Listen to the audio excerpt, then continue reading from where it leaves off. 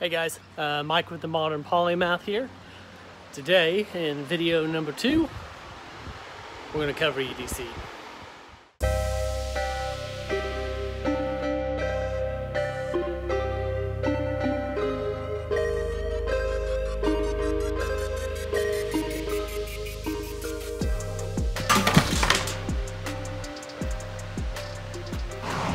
So, we'll start with the bag.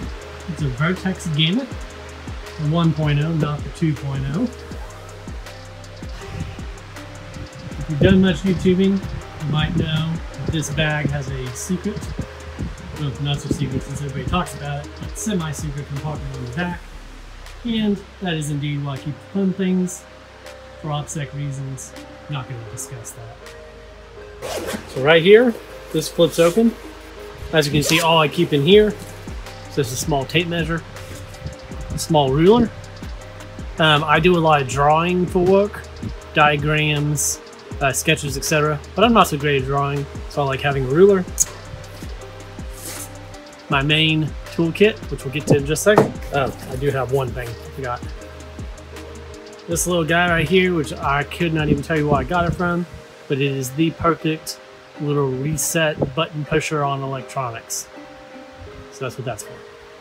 Thanks for watching the video. If you like it, drop a like. If you want, subscribe, it'll help me out a lot. And if you have any ideas for future videos, drop a comment. Okay, let's talk about this toolkit real quick. Obviously, it's a Maxpedition little case. Um, I don't like their backpacks because their stuff is so heavy duty made that their backpacks are too heavy. But for these small bags, uh, this thing will probably last me the rest of my life. I've already had it probably five years and it doesn't even look like it's been used. So, these are my EDC tools. The trusty Leatherman Wave. You don't know about Knipex Cobras, these are some of the greatest adjusting knives. This is the five inch, obviously a tiny little guy, um, but this thing has so much power. If you want to step up your screwdriver game, this right here is your guy from Wera. That's basically what this is, but if you an extra reach, boom. You're like, oh, I forgot my bits. No worries. There's your bits. My most used cables, which change all the time. This is what I have right now. And some headphones. Okay, I'm gonna quickly talk about the top retention on this. So as I had said, I normally keep this retained here and here. So when I open it up, it opens up like that. But for the purpose of the video, we're gonna open this guy up. One pocket on the back side here. In here, I basically keep flat things. Checkbook, small claw, waterproof paper thing. I'm not really a paper person, but I keep a little bit just in case. Tile tracker, which we were talking about. 3000 milliamp, just a USB Mophie power guy.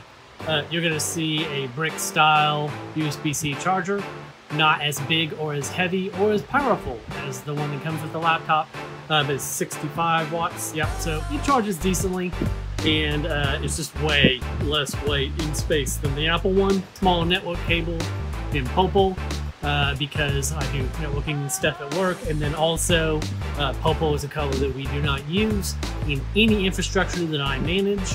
Uh, that way you always know that Popol is the IT guy's cable. Now let's talk about this bottom pocket. You have another longer networking cable.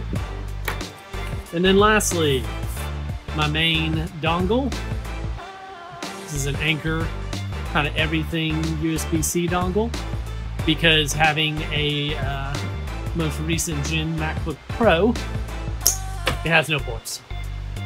Uh, this right here is my main dongle pouch. Um, just different additional dongles. So that's my main dongle stuff. And then this is everything else. Um, I've got some different thumb drives, like this one's got Win 10 installer already on it.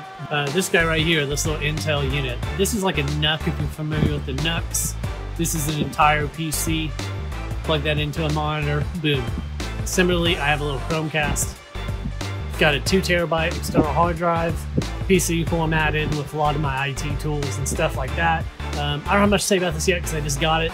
Um, I think it's going to be awesome. I think I'll probably do a dedicated video about it in the future, but that's what I got. All right, that one. Okay.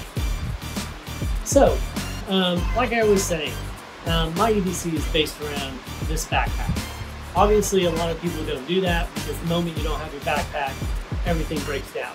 Now, I still have the basics on me. For OPSEC reasons, I'm not going to go into exact details of what those are, how I carry them, where I carry them, etc., etc. But I have my bases covered. Let's just go with that. So this bag right here, I talked about how I have a tile tracker. And that's because I am 24-7, 365 tracking the location of this bag in my phone. My phone is always on me, like everybody. If this bag gets too far away from me, my phone, my watch let me know, hey, you left your bag. If I'm heading out to lunch and I left my bag at work, I turn around and go back and get it. Other than like vacations, where I couldn't take it because there's a lot of stuff you can't fly with this thing. Um, I've had this bag on me 24-7 since the day I got it a few years ago. And uh, I think part of that goes back for me.